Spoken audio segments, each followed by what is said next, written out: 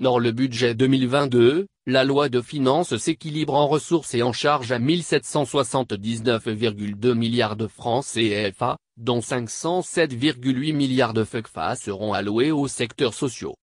Depuis le 28 décembre 2021, le Togo dispose d'un nouveau budget pour le compte de l'exercice 2022. En dépenses et en ressources, il est chiffré à 1779,2 milliards de francs CFA contre 1702,9 milliards de francs CFA en 2021, soit une hausse de 4,5%.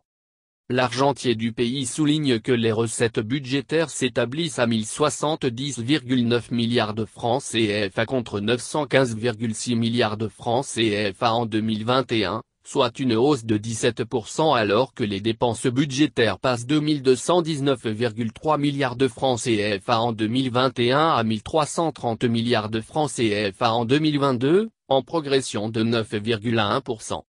Sont prioritaires dans ce budget, la santé, l'éducation, les transports, la sécurité, l'économie et la pêche, l'agriculture, l'économie numérique, le commerce, les industries, la justice et les loisirs et sports.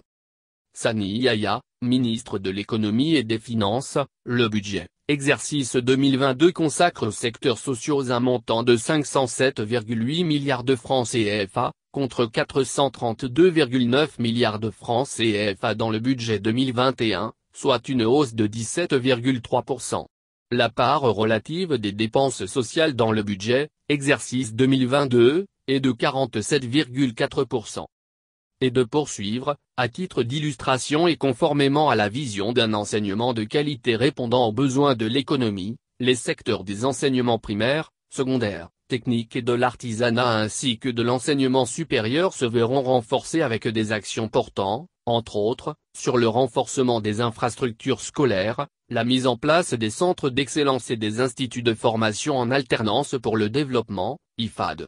À cet effet, des montants respectifs de 151,6 milliards et 40,9 milliards de francs CFA seront accordés à ces secteurs, soit près de 21,5% des montants alloués au ministère.